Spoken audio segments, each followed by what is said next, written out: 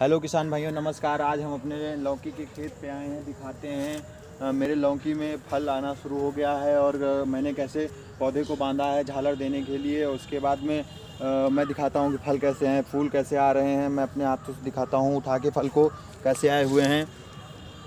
ये आप देख सकते हैं मेरे लौकी में अ, सारी ब्रांचेस से लगभग लगभग अच्छे ये देखिए ये लौकी आई हुई है चल रही है। उसके बाद में इसके जस्ट आगे दो दो अंगूर या तीन अंगूर पे एक फल और शुरू है। ये आप सामने देख सकते हैं, इसमें भी फल आना शुरू हो गया है।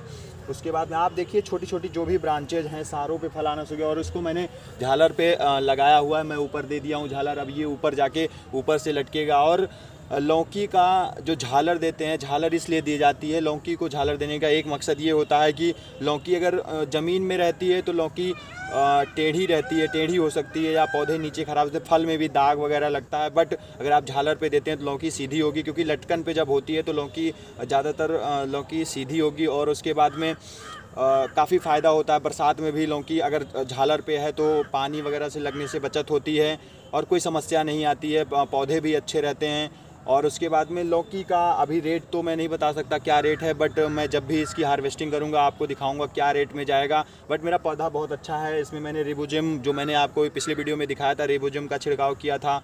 और इसमें फूल रुकने की दवा भी मैंने जो उस दिन खरबूजे में डाली थी, इसमें मैंने उसको भी डाली है। पौधा काफ़ी अच्छा है, देखते हैं क्या इसमें देता है। मुझे लग रहा है कि एक पौधे में लगभग 15 से 16 लौकी के फल छोटे छोटे लगे हुए हैं। अब देखते हैं इसमें से कौन सा बचता है, कौन नहीं बचता है। बट मेरा जो अनुमान लगाया जा रहा है कि अगर जो भी लौकी टूटेगी मेरे खेत में, एक दिन में लगभग तीन से चार कुंटल हार्वेस्टिंग ज़रूर होगी। जब भी हार्वेस्टिंग होगी, मैं आपके वो वीडियो बनाऊँगा पौधा बट अभी छोटा है बट इसमें 20 से 22 दिन में हार्वेस्टिंग शुरू हो जाएगी। आपको वीडियो बनाऊँगा और दिखाऊँगा कि क्या कैसे है।